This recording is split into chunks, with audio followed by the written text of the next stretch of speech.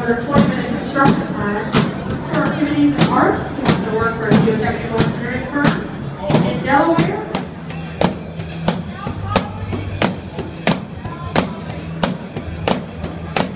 I need help. The design lead for this year's team, This is Pam, this year's team captain.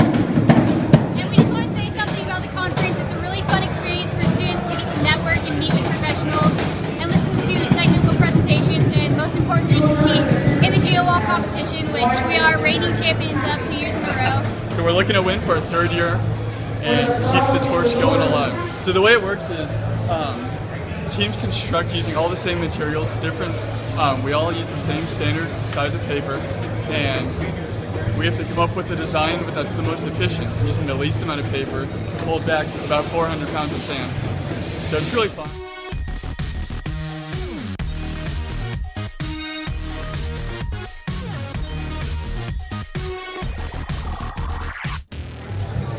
We'd also like to thank our judges, Jensen from the University of Missouri. CJ Kocher from the University of Colorado Boulder, John the University of Missouri.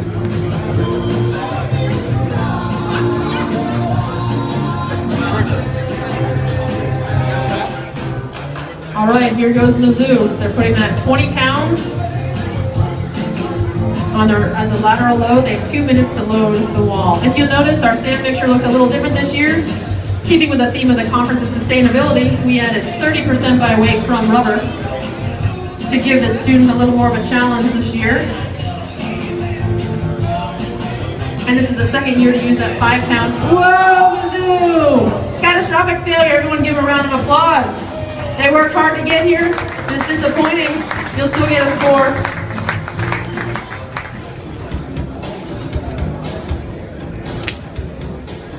See if it stands up. Success. To do at conferences. One of the most important part of the conference is networking with your colleagues. And we want to do that in a fun and relaxed way. So if you have any idea programs on for you, it takes a lot of time and commitment. Maybe their advisor is more nervous than the team, I'm not sure. Add that five pound dynamic load.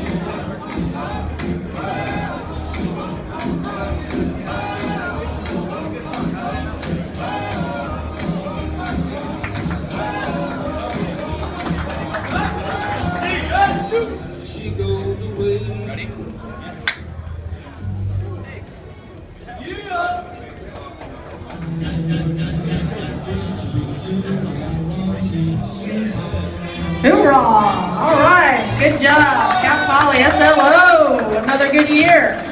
You got your case for wall movement. Well, that's good. Can't move too much.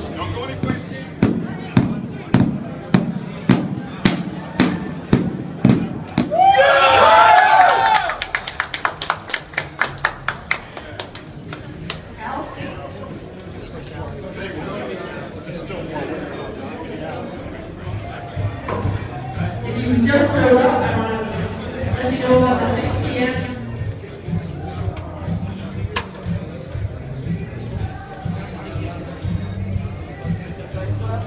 And the box.